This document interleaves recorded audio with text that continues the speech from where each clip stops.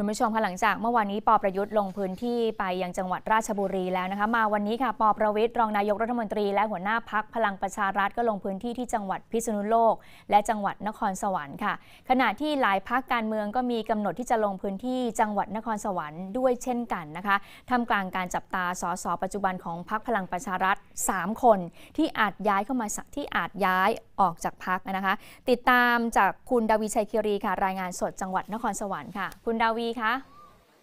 ค่ะคุณพึ่งนภาคะเรียกได้ว่าจังหวัดนครสวรรค์นั้นเนื้อหอมนะคะ นอกจากฝ่ายบริหารลงมาปฏิบัติราชการแล้ว ยังมีหลายพักการเมืองจ่อลงพื้นที่ติดต่อกันด้วยค่ะ วันนี้พลเอกประวิตยวงสุวรรณที่ถูกตั้งข้อสังเกต ว่าลงพื้นที่ปาดหน้าพลเอกประยุทธ์สองจังหวัดติดต่อกันแล้วมาปฏิบัติราชการที่นี่และช่วงเย็นก็จะเปิดงานตรุษจีนที่นครสวรรค์ด้วยนะคะ แต่ในช่วงเช้าค่ะเดินทางไปที่จังหวัดพิษณุโลกก่อนค่ะ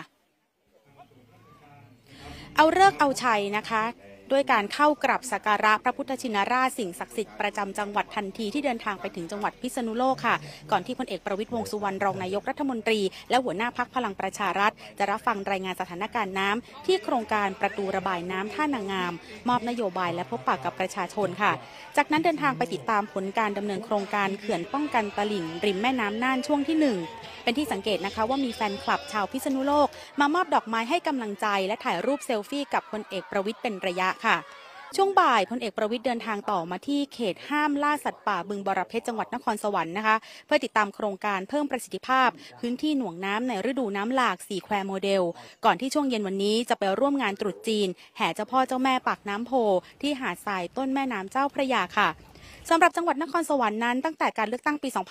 2562 พักพลังประชารัฐค่ะ ได้ที่นั่งสสนะคะ ในส่วนของพลังประชารัฐเอง 4 ที่นั่งนะคะ เพื่อไทย 1 ภูมิใจไทย 1 ค่ะ แต่นายวีรกรคำประกอบนั้น ได้ลาออกจากพักพลังประชารัฐ ไปสังกัดพักภูมิใจไทยก่อนหน้านี้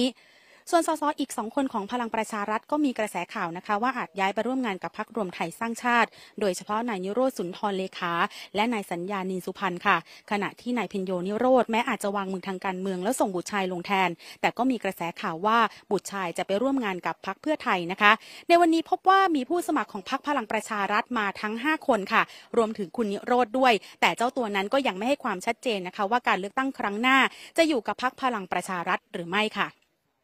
นครสวรรค์นั้นถือว่าเป็นพื้นที่หอมหวานนะคะของบรรดาพักการเมืองค่ะ วันนี้พลเอกประวิตยวงสุวรรณในฐานะหัวหน้าพักพลังประชารัฐมาลงพื้นที่ และช่วงเย็นวันเดียวกันนี้ค่ะคุณพิธาลิ้มเจริญรัตหัวหน้าพักก้าวไกล ก็จะมาปราศัยแล้วก็เปิดตัวว่าที่ผู้สมัครทั้ง 6 เขตของพักก้าวไกลนะคะ 24 มกราคมค่ะพักเพื่อไทยจะลงพื้นที่นครสวรรค์ส่วนวันที่ 30 มกราคมนั้นพลเอกประยุทธ์จันโอชานายกรัฐมนตรีจะมาลงพื้นที่ด้วยนะคะ คุณพิธาคะ